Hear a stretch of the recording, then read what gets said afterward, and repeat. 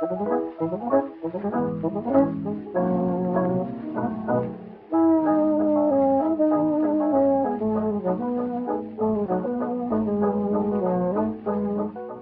1920s was no stranger to strange fads and crazes, sometimes going into absurd territory.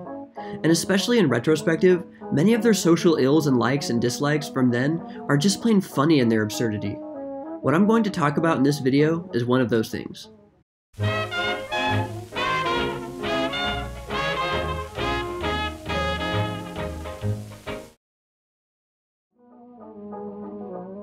Around the turn of the century, many men wore straw hats instead of other styles like bowlers and newsboy hats. Not the Tom Sawyer kind of straw hat, but this kind. This style of hat was often called a boater or a Panama hat. It was comfortable to wear in the summer when engaging in leisure activities. It gradually became socially unacceptable for men to wear straw hats after the end of summer. It was considered lame and scandalously unfashionable, and there existed an unofficial social rule that men shouldn't wear straw hats after September 15th. This date seems to have just been chosen arbitrarily, but nonetheless, it was generally accepted. This social rule concerning straw hats was especially common in cities, and New York took it very seriously. But many men rebelled against this social norm, or at least paid no attention to it. However, others in the community, mostly teenage boys, took to swiping these hats off of unsuspecting men in the streets after the end of summer, which in this case was September 15th. This wasn't to steal them or anything, it was really just to cause trouble. Sometimes they would even stomp on the hat when it fell to the ground, just for good measure. One day, straw hat wearing men had had enough. Roving gangs of boys had been harassing them especially badly all around New York City in the days leading up to September 15, 1922. The first incidents began two days before the date. On the 13th, a group of these hat hunting hoodlums messed with the wrong guys.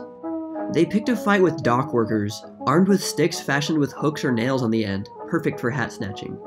But the dock workers fought back, drawing the fight into the streets. But the onslaught of hats continued.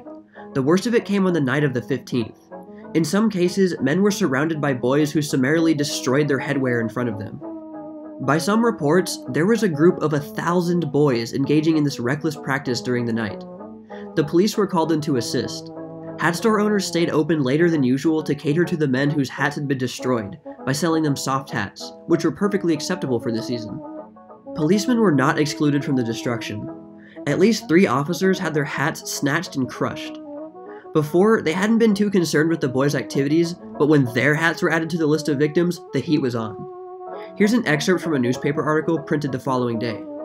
Patrolman King and Lamore came in hatless and indignant with seven boys, all less than 15 years old, who, they said, were members of a gang that had knocked off their hats and trampled them.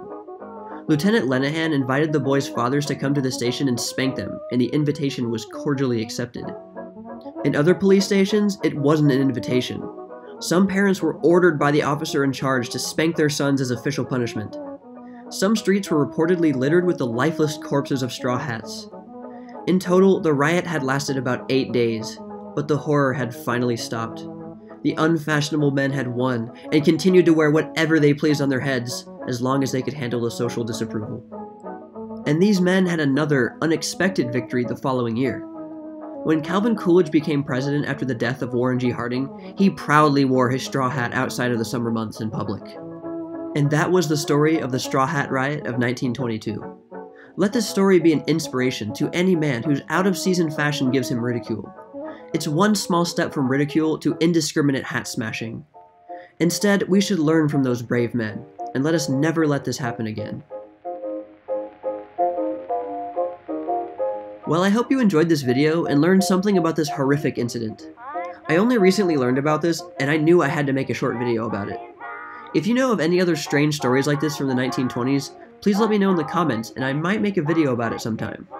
Well, that's all for now, all you sheiks and gals out there, but stay tuned for more tales from the Jazz Age.